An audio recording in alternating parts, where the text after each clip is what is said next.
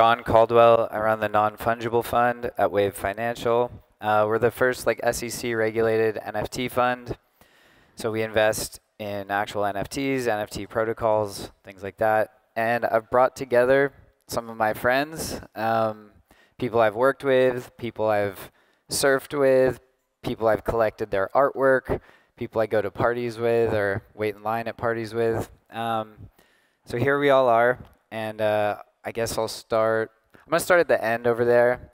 This is a, a great man. His name is William Tong. He works with the Origin Protocol. Um, William is one of the most connected people in the NFT space, and uh, I'm just happy to have him here. So, do you want to give an intro on what you do? I'm super grateful to be here, very, very honored, especially on this stage with such amazing, amazing people in the NFT and Web3 space, people that have literally defined the way that I live my life and the way that I move, operate, and support communities. As we see now, Web3 is disrupting or changing or innovating in the Web2 and the prior spaces more now than ever before. It's just incredible to have these spirits and this energy with me in this space. Um, at Origin Protocol, we're always trying to make sure that we're supporting creators and creatives by helping them create NFTs and take their art onto the blockchain via story.xyz and also Lucky Ducky, just claymation ducks that make you happy. um, yeah, we love the Lucky Duckies. Um, I guess, Melissa, do you want to go next? So this is Melissa. She's a local Bahamian artist. Uh, she just had her first NFT drop today. It sold out in 12 minutes. It's a really big, exciting day. She dropped it on Quantum, which um, I'll get to later. But Melissa, do you just want to say hello and talk about what you did today? Hi, everyone. I'm Melissa. I'm a Bahamian artist here. And yeah, I did just have my first NFT drop, which was wild, especially that it sold out so fast. Um, I'm really, really new to this entire kind of world. So I'm really looking forward to being a part of this discussion and some of the other events so that I can kind of soak everything up. Um, yeah, and I'm just happy to be here. Cool, yeah, we're happy to have you. Um, we have Nicole Buffett. She's also an artist um, that sort of has bridged from traditional art into NFT art. So she has a really interesting perspective on that. And um, yeah, why don't you talk about what you've been working on? Hi, uh, thanks so much for having me. Um, yeah, I am a traditional painter who came into this space about a year and a half ago. And it has completely expanded my work. Um, the digital medium has allowed me to express and communicate ideas that I've always really wanted to. Um, let's see, I'm working on so many different things. Um, I'm about to be a quantum artist as well and drop my first hand-painted animation series in July. Um, I'm also just really excited about how this space has transformed the role of the artist and the world and really allowed um, the financial community, the technology community, and the artist community to come together and work as a unit and truly, as William was saying, bring about incredible change. Yeah, great. And then, of course, we have Justin Aversano here, my good friend. And uh, I met Justin in the Punks chat room, Larva Labs, on Discord. And um, he was like, hey, do you surf? And I was like, yeah. He's like, do you live in LA? I was like, yeah. He's like, let's go meet at Topanga in an hour. and I was like, all right. So I went to Topanga, met him there, and he's like, dude, you got to buy a photo NFT of mine. And I had never heard of him. Um, and I was like, $12,000 for a photo from a random person I've never met is a lot. But uh, that was a twin flame, and those are now worth, uh, what's the floor on twin flames? 222. ETH. So that's a lot. 600, 700K, something. anyway, um, Justin is a close friend, and he's an artist, sort of turned CEO. So his journey is very interesting. Uh, why don't you talk about maybe Twin Flames and Quantum a little bit? Sure. Thanks, John. Yeah. Um, I'm grateful to be here with everyone on this panel. John, um, our fellow artist, and Will. Um, I started this journey a year ago in February with Twin Flames, which is a photography project I've been working on since 2017. And I found myself in the Punks chat where I actually found a community that actually cared about artists and were interested into supporting art. And from there is where I met John and found myself in this journey. And I had, had some success with my art that I've been working on my whole life. And with that success, I built a company called Quantum with some co-founders of mine, Jonas, Alex, Chris Graves. And we are here to uplift and serve the community by bringing on artists who've never been in the space before and hope, hopefully changing their lives for the better and giving them a place to be in the world because art is a job and it's extremely important for culture and people to understand that artists are here to help heal the world. And so Quantum is our company. It's called Quantum Art. It's an NFT platform. We started with photography because I'm a photographer, and now we're branching into digital art and fashion and metaverse gamification. So in a way, it's like this whole journey is unraveling every step of the way, everyone we meet, and every conference we go to, we just continue building this journey to hopefully do something positive in the world and not create a dystopian future, but a way where we can, you know, uplift everybody and give access to crypto and wealth to everyone in the world, because I think that's extremely important. Yeah, that is. Um, I was just checking my notes here for the title of the thing. So it's Art, Culture, and Community in Web3 and we are on the Trusting Disruption stage, sponsored by Deltec. So thank you. I mean, I like what Justin was saying about disruption. Um, I think that it's interesting to be at this like traditional finance sort of conference, but also be trying to disrupt. And I think that this conference is actually really interesting that you have, you know, a crypto company like FTX that is disrupting the entire industry. Um, and it's sort of a microcosm for what's going on across every vertical. So like art, fashion, community, um, social, like everything is slowly being disrupted by Web3 technology. And um, I guess that's where I'd like to start with you guys is, is like, there's this meme going around that's just like, oh, we are so early. And I want to, you know, talk about that because there's 1.5 million people have ever done an NFT trade ever on OpenSea. So 1.5 million. There's 90 million crypto users on Earth, and there's around 8 billion people on Earth. So in terms of those stats, if you are trading NFTs, if you're buying NFTs, selling NFTs, you are early. But I want to talk about that because other people who are really in the space are also like, how could Bored Apes be worth 150 ETH? How could this be happening? Are, are we still early or are we at the top of a bubble? So I just wanted to sort of open that up to people, like talk about their friends, what happens when you talk about NFTs to you know people who aren't in NFTs. Um, if we're talking here to the audience, uh, it was supposed to be at 210, by the way, and then they changed it to an earlier time, so not a lot of our friends are here. But uh, yeah, we don't know like. I mean, William, what do you think? I mean, you go around, you you talk to like a lot of Web three people, but a lot of Web two people as well. I mean, are we early?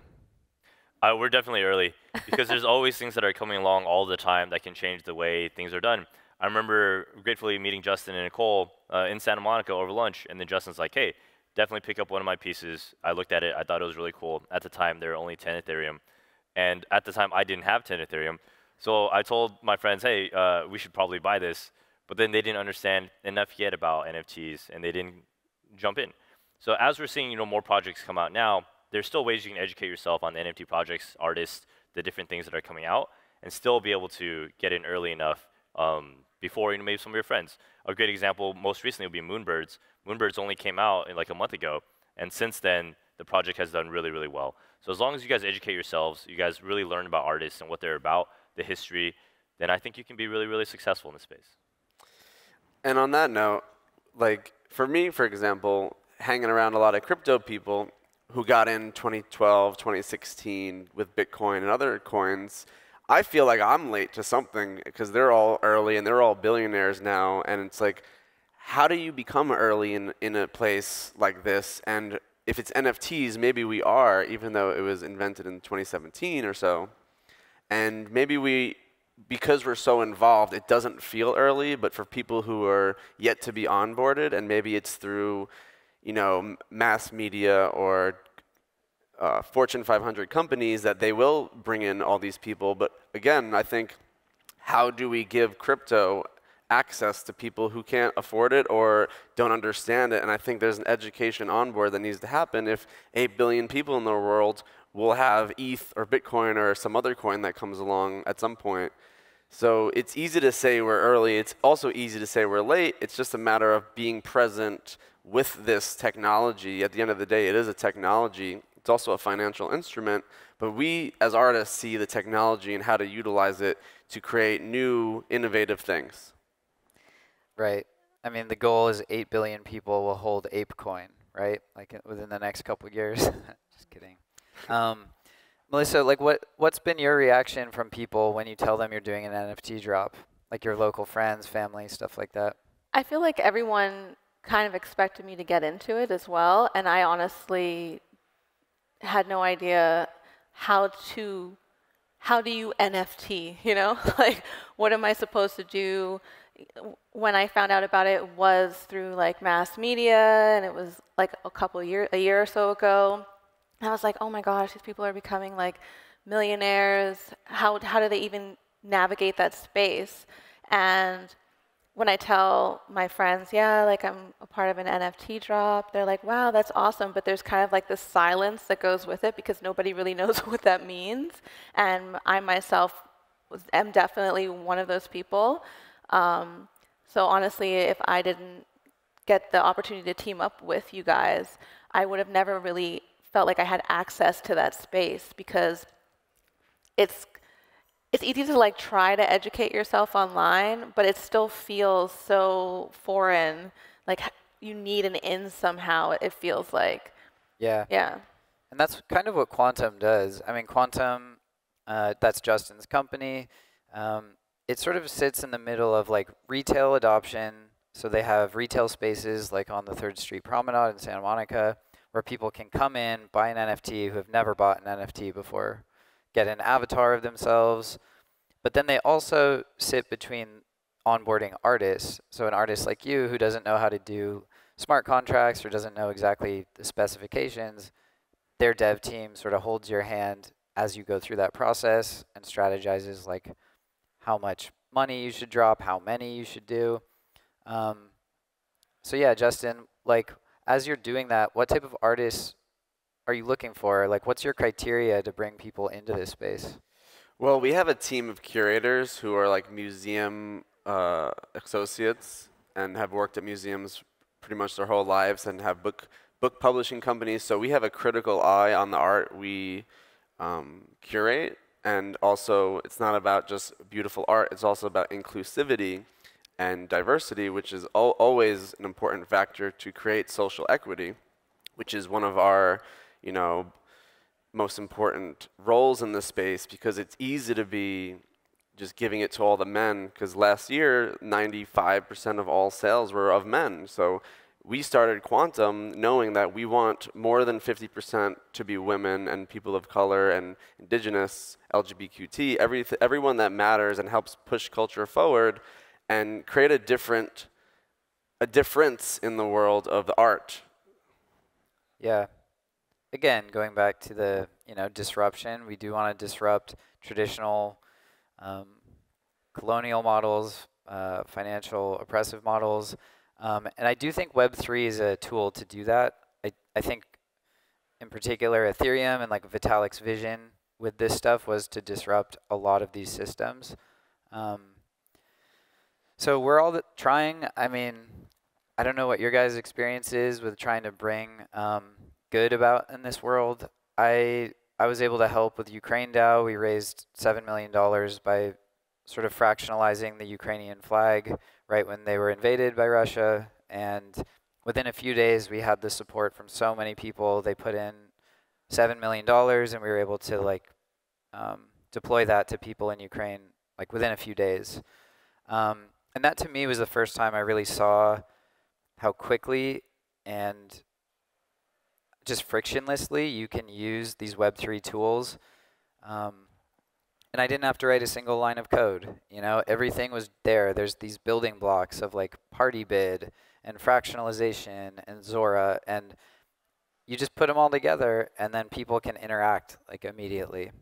Um, Nicole too also has worked on important conservation project. So I'd love for her to share. Yeah. Yeah, I think the my most um, exciting project to date is the uh, dolphin commemorative um, NFT. It was a painting that I made um, in memory of a friend's husband who had passed away who loved dolphins. I had made it years before the NFT space began.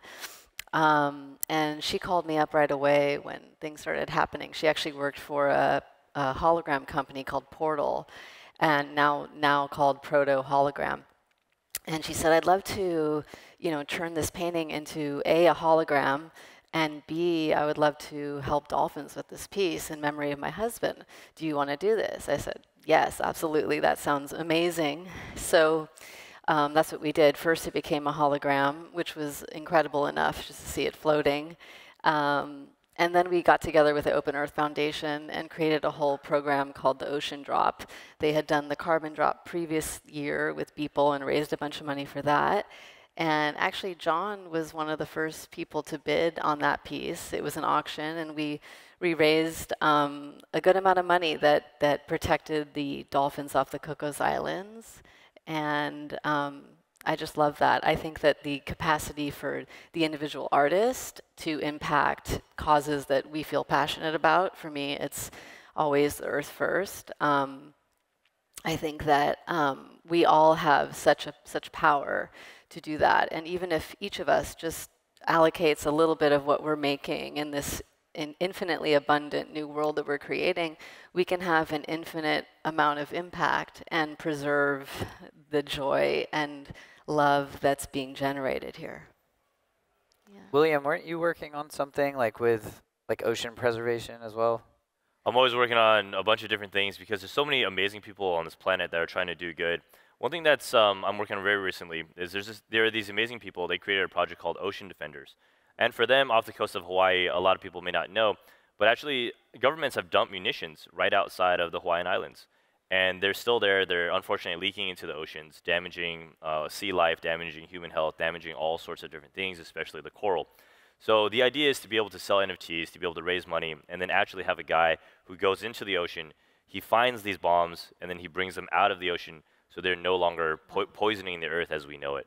So for us today, for the people in this room, if there's a mission or a cause or something you're passionate about, you have the power now to activate it and to do something amazing, right. something that before may have taken years or may not have been possible. But because of the technology of the blockchain, of Web3, of the people on the stage and community and the network that we have, you can achieve things that before may never have been possible.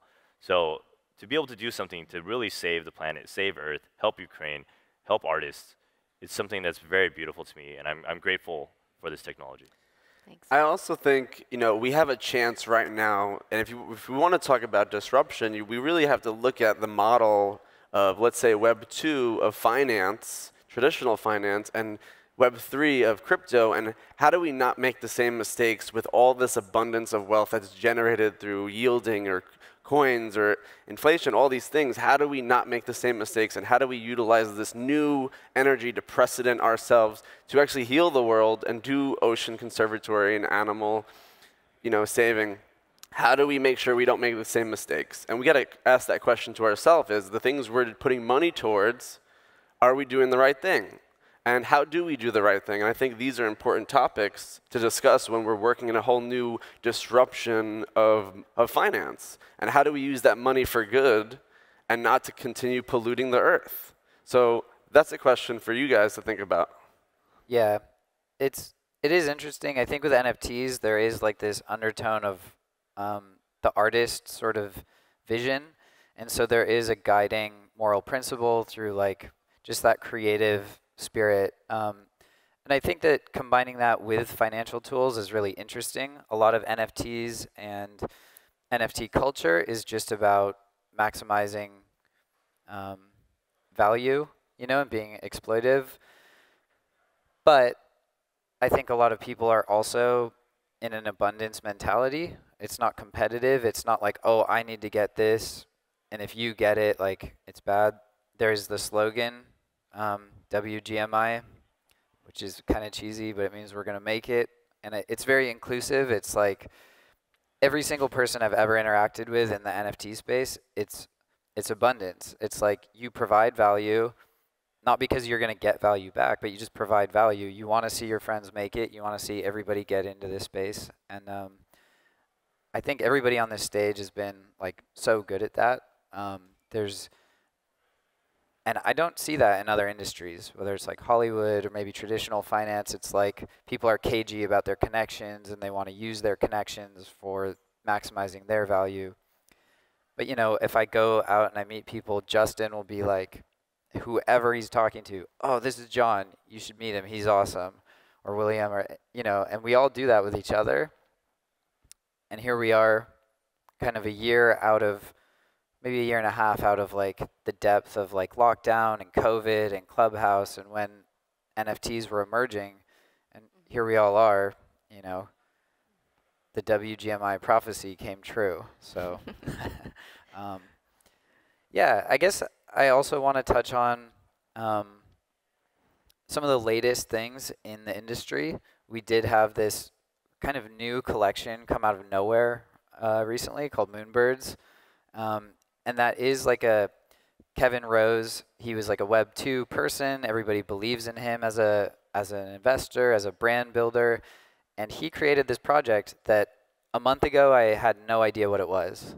I saw Justin wearing an owl hat and I was like, what is that? and um, a month later, it's it set records. The first day of sales, it did about 10% of the volume of Bored Apes that Bored Apes did in a year.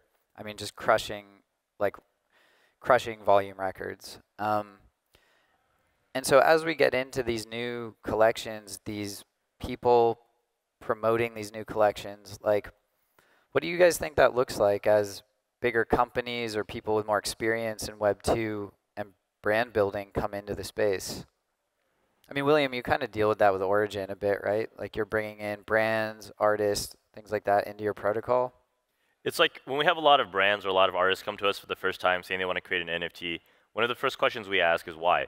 Why are you creating an NFT? If it's just for the money, if it's just for commercial purposes, most likely the project won't be successful because that doesn't tie in with the culture of Web3, which is a very collaborative, authentic, sincere environment where we're trying to succeed not in terms of economics, although that does happen, but also in terms of community building, in terms of making sure that our people are taken care of, and that we're building a solid financial foundation.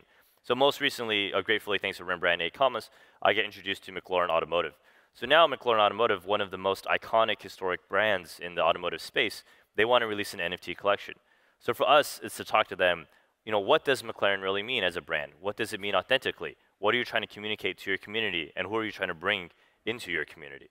So for us, as all of the people are, are here in this room, if you're thinking about participating in projects, how do you create something that's really authentic, that really adds value to a space? Not just to the spaces that you're in currently, but also to the Web3 space and to new communities. Because ultimately, that's how you're going to grow what it is that you're trying to do. That's how you're going to make sure the project is successful. And that's how you're going to get the real network and amplification effects of Web3. Mm-hmm.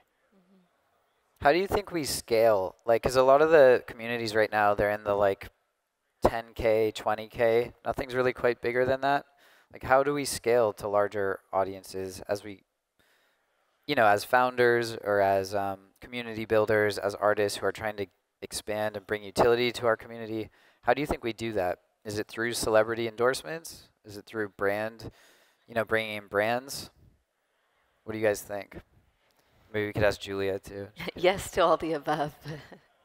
um, I kind of am going to touch on that question and then the other question of like, are we first? Are we, you know, are we still in that zone? And I think that, you know, there's a constant state of innovation happening and that there's a limitlessness to what this technology um, gives us the capacity to do. So the question is, what, what do you want to have happen? It's really an amazing opportunity to consider to what extent can will my imagination go? You know, what really is my vision? So um, it, it will meet you there. You know, this place meets you where you meet it. So I think that if you can imagine how you can scale, then you will find the way to do it. you will find that way, and there's there's many different channels. And I think the key is really being true to yourself and working with people that you feel aligned with and a kinship with. Justin, what are you doing for Quantum? How are you building your community? I mean, you've done it pretty organically, like from your Discord. I met a lot of people in there, like Twin Flames collectors. That's like hundred people, up to you know a couple thousand, up to what like quantum. Like, what's your plan with that? Well, first and foremost, I believe in the artists, and I feel like the artist is what truly makes quantum successful. Like without the artists, we're pretty much nothing.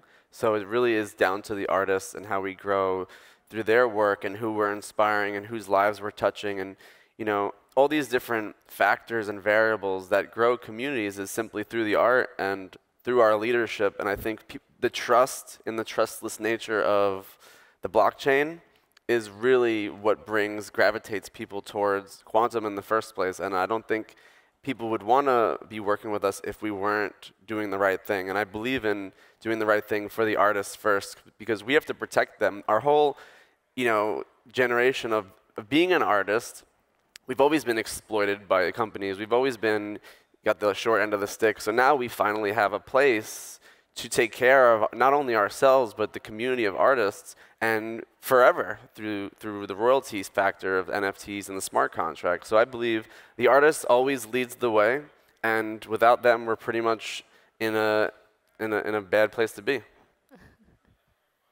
And just I guess I always like to do this, just quick show of hands. Um, how many of you have bought an NFT before?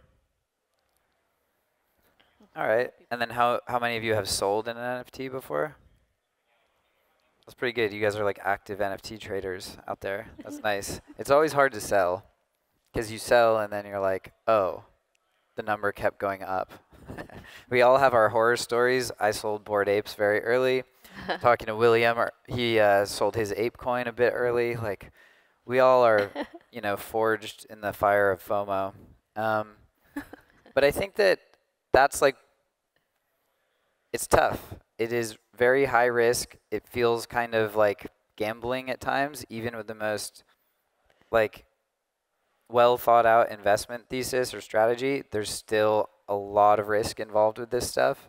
So as we onboard people, there's a bit of a duty to to warn them of that or tell them, you know, because people come in and they get wrecked and then they never want to come back. So it's tough. Um, and I don't really know the answer to that. Like it's it's a tough one. I think the answer is be creative, be the artist you are in your heart and don't you don't think about trading when you could be creating. Like all of us here are artists and you know, I haven't made my wealth flipping apes or punks. Like I, I, am a paper hand, so I always lose profit. So being an artist, I'm able to generate wealth through my creativity out of the ethereal plane, which is great why it's called Ethereum. But in a way, like it really gives us power and power back to the creator when we can literally create value out of just an idea and minting it on the blockchain. And here we are speaking to you at a conference because we've done that so well. Uh, I agree with Justin absolutely in this space, you can trade, you can buy, and you can sell NFTs, but really, real wealth creation comes from creation. It comes from building. It comes from being an artist and putting your art into the world. People, um, he did art, digital art, every single day of his life. And ultimately, he took 5,000 days of art that he had given away for free prior. He put it onto the blockchain, and he was able to auction it for $69 million at Christie's. So for those of you that are in this room, as you build, as you create, you will be rewarded pretty much directly because of Web3 and the blockchain. And for the first time in my life, I'm able to see that really translate through. Where in the past, when people may have created things or built things, they may not have gotten their recognition or financial success or anything along those lines. So it's a beautiful space, and I'm glad to know all of you. Yeah, it's definitely a build it and they will come kind of situation. Like one, like hands down, even just being here in the Bahamas and not understanding, you know, how can I reach a wider audience of people and who, what platform will allow me to do that. I was still initially never creating for the purpose of making money as much as I was creating for the purpose of uplifting other people throughout my community and my Bahamian community. And then it just, people just kind of gravitate towards you. And it's a beautiful thing. And it's a beautiful thing to be able to then take some of that money and then put it back into the same community which you were trying to uplift in the first place. Yeah. Yeah. There is a law of reciprocity in the Web3 space that should be always talked about. Is like if you gain, you should always give back. And I think that giving back and that cycle, that karmic cycle of supporting one another is what will ultimately make this space more sustainable because if we have more extraction and exploitation than we do the giving, then this, this will fail.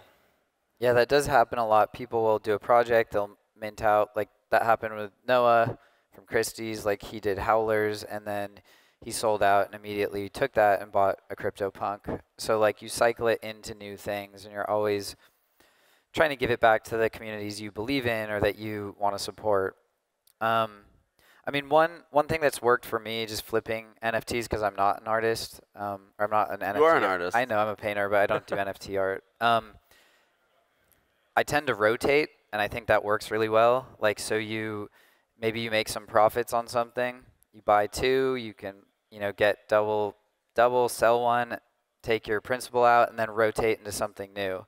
And that's what's helped me really avoid some of this like horrible, horrible FOMO with certain projects because like you sit there and you're like, oh, I bought that thing and then I sold it and it went to millions of dollars, or I was gonna push the slider to buy 20 apes and I didn't. And if I'd pushed that button, I'd be like, you know, sponsoring Crypto Bahamas. But the way I've dealt with that is I rotate, and as you rotate, you get exposure to more and more and more. And you just hope that in this hit driven market, you know, one or two of them sort of pay for all of your losses. And my advice for the audience when you're thinking about what NFT should I buy, think about the artist, right? Think about do you want to be a, a part of their journey their whole life? If you think about how galleries work in Gallery 2, like we have Web 2, um, it's these people support these artists for their whole career. So it's not just a one buy and one I leave. It's like I want to be side by side with this person forever because I believe in them as a human being and an artist. And so it's like find that one artist that you truly care about and just stand by them and support everything they do because that is what will change people's life, like Melissa's. Yeah, like me. I definitely can't get over this morning. I, everything feels surreal to just, you know, work with you guys, work with Quantum, and then everybody was just so supportive. Like, I don't know anybody. I'm coming on. Everyone's like, you got to get on Twitter. I'm like, I don't even understand Twitter. How do you work Twitter? You know, um, I would just mainly post on Instagram. And then the next thing you know, I'm on Discord, and everybody is like, yeah, I love your love your pieces. I love your work. Go, Melissa. And it really felt like almost unusual to feel that much support from people who you do not know. You know, it didn't feel like what we touched on earlier, which is like people kind of just gatekeeping and oh i'm going to make this money and i'm not going to let you know how. It didn't feel like that at all. It just felt so warm and you know welcoming. And then to watch everyone continuously like repost and they're you know bigging you up and you're like holy crap. And then you wake up in the morning and you look at your account and you're like did that really just happen Yeah, just to give everybody who came in a bit later some background. So Melissa had her first NFT drop today. It it, it was on Quantum. It sold out in 12 minutes. So it's a really exciting day for her as an artist. Thanks. And I, I think it's just such a cool, beautiful moment. Like she's here, you know, she had her first the timing was just sort of random. It was today. You're on this panel. You're here with Justin, who helped create Quantum. Yeah. Um, so there's a lot of cool synchronicity here, and we're really happy for you. Yeah, I'm really happy to be here. Thank you. Yeah. Um, I mean, we're going to wrap up in a few minutes here. I, I think I'd like to just talk about any upcoming trends you guys are, you know, looking at in NFTs. Um, I'll start, I guess, like gaming, gaming, metaverse stuff. It's obviously the buzzword, but um, I used to play video games. I played World of Warcraft. At the height, WoW had like 50 million active users. Roblox has around 50 million active users. And like I said, um, active NFT traders, probably like a million or less. So there's a lot of growth there, a lot of potential to onboard people as you bring in-game assets like weapons or skins into the into these games. So I'm very bullish on that long term. Also fashion, metaverse fashion stuff I think is really cool. But um, let's go this way. Let's work it back towards me in 30 seconds each. from a larger perspective, what's really inter interesting in this space right now is all the new things that are being created. So it's been said that of the current uses we know now for NFTs, that probably is going to wind up making up only 10% of how NFTs overall are used. So for example, although we talk about art, culture, and community in Web3, the money element is there. So for those of us that bought Bored Apes in the beginning, Bored Ape Yacht Club, a specific NFT project, we may have paid around $500. Someone recently did an analysis where all of the assets that you have been given as a result of having this one Bored Ape Yacht Club NFT amounts to about $700,000 today in US dollars. So for those of us that got something a, a year ago, May 1st, 2021, $500, today, May 1st, 2022, you have about $700,000. So NFTs, they're really changing the way that we see things. And the reason there's so much interest in this space is also because of the money. So for those of you that are here that are sincere about making a positive impact, about making a difference, about using technology to shape not just the world that you inhabit, but the one you're trying to create, this technology can really amplify and accelerate the rate at which you do things. So the best way to succeed in this space, as Justin said, is that we're all going to make it. Is to talk to people that are in this space, figure out how you can collaborate and work with each other. Because I found more success and happiness space because of my friends than if I had eh, than if I would have had to try to do it alone. Cool. So well said. I don't even want to, but I'll I'll say yes. And yeah, intersection, uh, collaboration. That's the key. Um, thank you, William, for saying that so beautifully. Thank you, Cole. Yeah. Cool. Melissa? Her, her spirit seeds are awesome. Definitely collect those. spirit coins, spirit Spirit seeds. coins. Any trends or things you're excited about in the NFT space, or are you still just um, I'm literally just soaking all of this in. good, good? I'm like so brand spanking new to the NFT space. I'm kind of looking forward to being a part of it more and just like watching what everybody does and figuring out how I can be a part of it and also like make a difference. So this is like very enlightening to be on this panel while also like actively learning at the same time. Yeah. Well, come to NFT NYC. The conferences um, are a really great circuit to meet people and learn about projects. So, yeah. Justin, what are you excited about? Well, I'm excited about bringing NFTs to the real world because that's where we are right here, right now. And there are there is so much talk about metaverse and VR and like, what about right here, right now? What about being together presently in the moment in physical reality? We can't forget where we come from because we're we're humans and we're here. And I think what we're building with Quantum, building these IRL spaces around the world, is a testament to how much we believe in not only the metaverse idea, but the universe of where we, where we are, and coming together in these spaces to talk about NFTs, to exhibit the work, to celebrate artists, to gather, to connect, just like we're doing here. And my thesis for the NFTs is actually being in the real world. Cool. All right. Well, thank you everybody for listening. Well said. Yeah. Thank you. Thank you.